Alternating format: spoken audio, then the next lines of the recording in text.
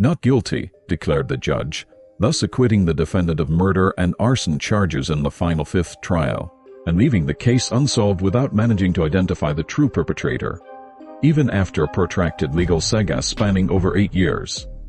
Today's episode looks into one of South Korea's most controversial, unsolved crime cases filled with unexpected twists and turns and known, rightly or wrongly, as the country's version of the O.J. Simpson trial.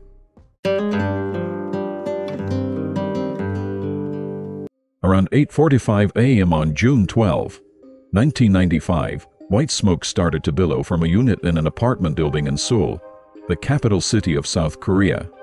A security guard tried to contact the homeowner on the intercom, but no one answered.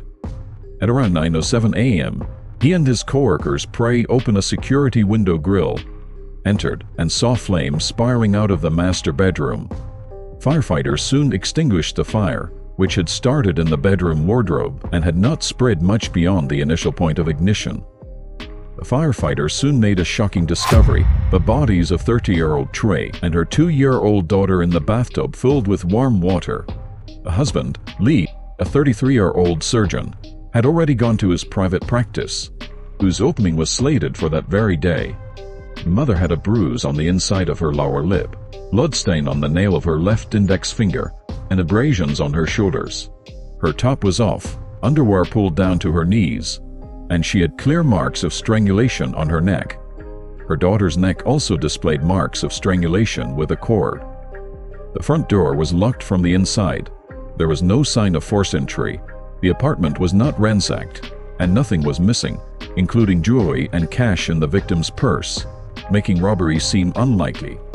Police soon learned that Trey, a dentist with her own clinic, had been having a long-term affair with another man, an interior decorator whom she met while her husband was serving in the military as a public health doctor in another city. 18 to 21 months of military service is compulsory for all physically fit South Korean males aged between 18 and 35. Women are not required to perform military service, but they may voluntarily do so. According to the clinic staff, she often met the man and carried on her extramarital affair with him in her office, and the police found her diary in which she even wrote, I thought of him even when I was sleeping with my husband. This led the police to view Lee, the husband, as the culprit from the start, believing he had ample motive for committing the crime if he had discovered that his wife was cheating on him. However, he claimed that he'd never had the slightest suspicion that his wife was unfaithful, and only learned about it from the police. However, there was quite a bit of suspicious indirect evidence pointing to his guilt. The husband had fingernail marks on his arm, which he claimed were left when he clenched his arm tightly, upon learning about the deaths of his wife and daughter, and was not allowed to enter his home. The police, on the other hand, believed they were the marks left by the victim's fingernails when he was strangling her with a cord. Even so, they committed a grave error of not having the marks examined by a doctor and compared against the victim's fingernails. His lawyer later submitted photos of him reenacting the action of clenching his arm, which left a similar shape of the original fingernail marks. Police also found a suspicious note in a pair of Lee's sweatpants.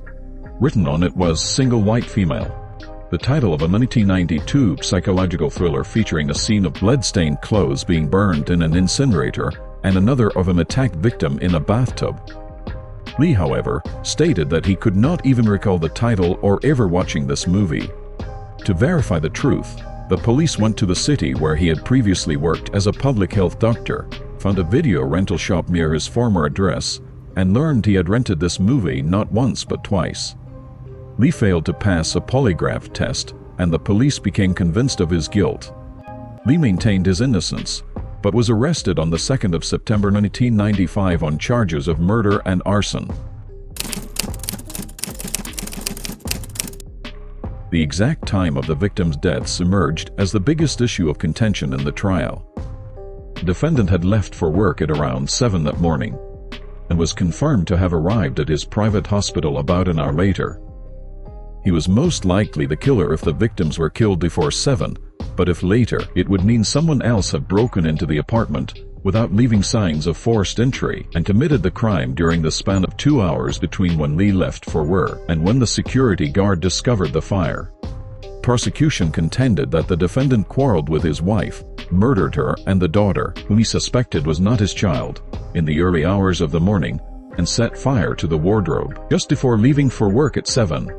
They presented the results of a computer simulation showing that it takes more than two hours for the smoke to be detected from outside when clothes are set on fire in a wardrobe inside a closed room.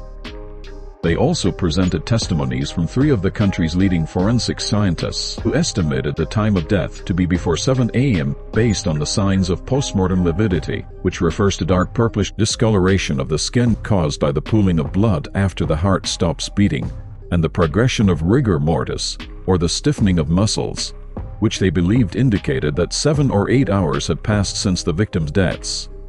According to the autopsy results, some traces of the food the family had for dinner the previous evening remained in the victim's stomach. But there was nothing of the breakfast Lee told the police that he thought his wife had on the morning of her death. This was also presented as evidence that she had died before her husband left for work. Prosecution argued that Lee killed his wife and daughter in a fit of rage after learning about his wife's extramarital affair put their bodies in the bathtub filled with hot water to cause confusion in estimating the time of death, and set a slow-burning fire before leaving for work.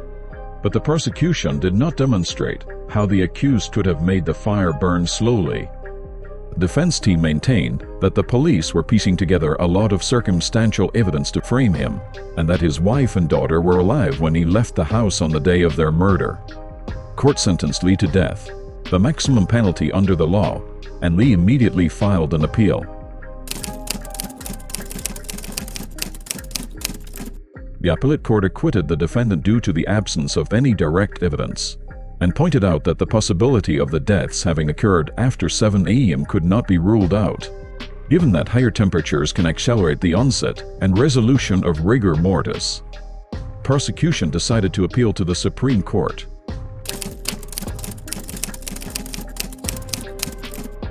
the Supreme Court reversed and remanded the case for a new trial, ruling that even indirect evidence, if it is consistent with logic and empirical rule, can be used as proof of a crime, and that the overall weight of available evidence should not be discounted.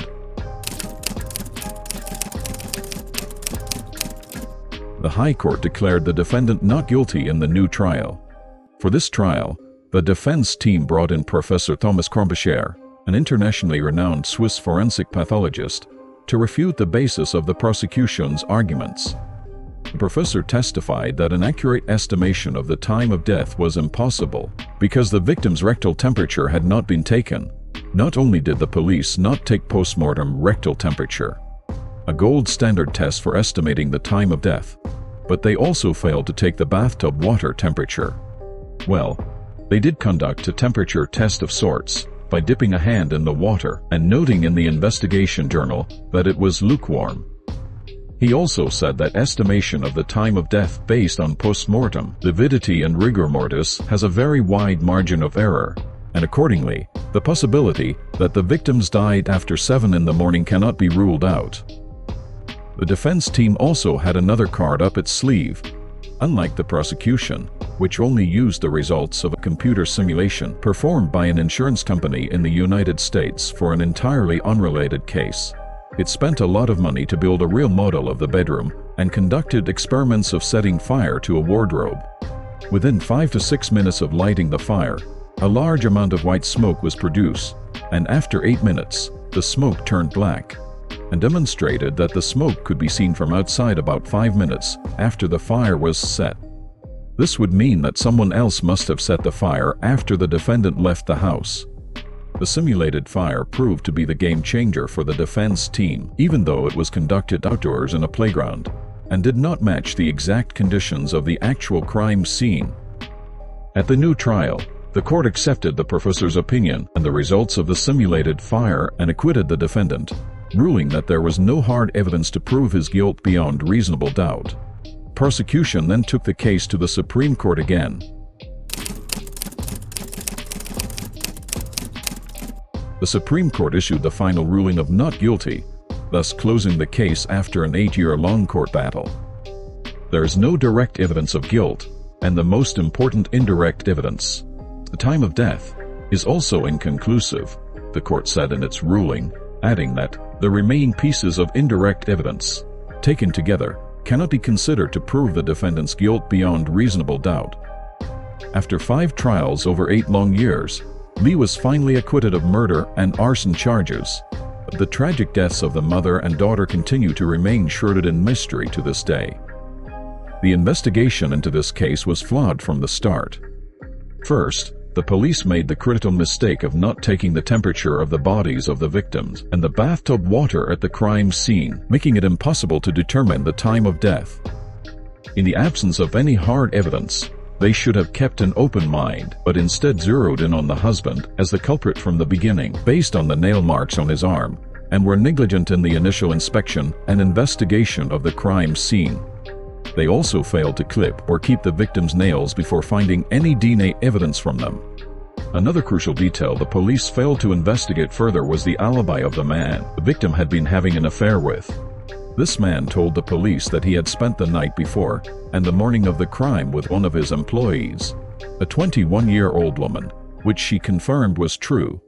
He also claimed that he bought some beer from a nearby shop and the shopkeeper recalled that someone who looked a bit similar and may or may not have been this man did buy beer the night before the crime.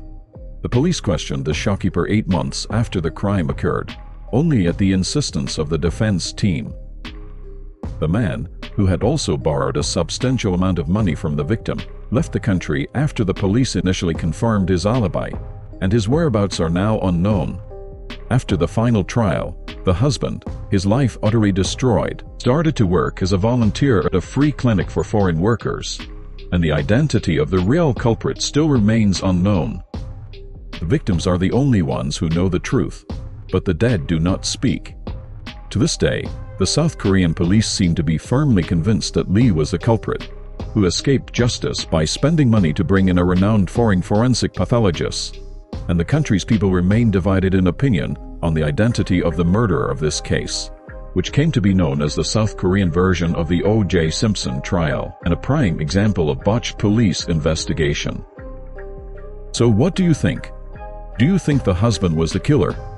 Or perhaps the other man in the victim's life?